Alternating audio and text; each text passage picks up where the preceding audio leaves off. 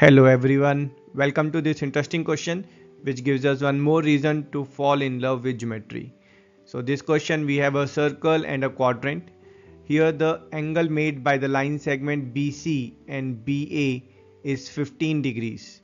The length of this red line segment that's 6 centimeter. Exciting part is with this limited data without using any calculator we have to find the radius of quadrant. Let's check this elegant solution. To start with, let's join CA.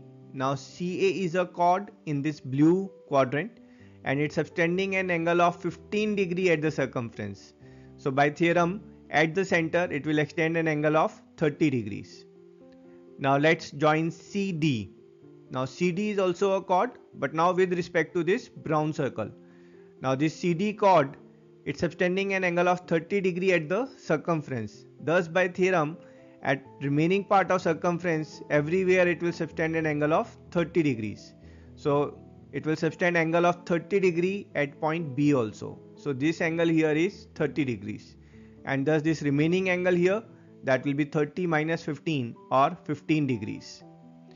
Now let's remove all this construction here and concentrate on triangle BOD. Here BO and OA they are the radius of this blue quadrant and thus they are equal. And thus this triangle is an isosceles right angle triangle. So we can say that this angle here this is 45 degrees. And thus this remaining angle here that's 45 minus 15 or 30 degrees. Now let's uh, name this length OD as x centimeter.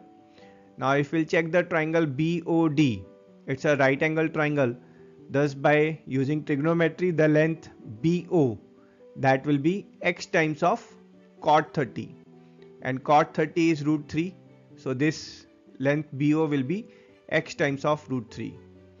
Now BO and OA they are the radius of this blue quadrant and thus they are equal. So here we can say that x plus 6 is x times of root 3. So let's take this x terms on one side so we'll get this equation. So here x will come common. Root 3 minus 1 it will go and divide on the other side. So x will be 6 upon root 3 minus 1. Rationalizing the denominator we'll get value of x as 3 times of root 3 plus 1. Now the radius of blue quadrant which we have to find. So that's BO length. It's x times of root 3. So radius is 3 root 3 plus 1 times root 3. Solving it, r is 9 plus 3 root 3.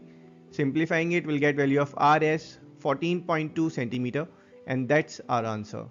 I hope you enjoyed the solution. I will see you in next video. Till then, tata, bye bye.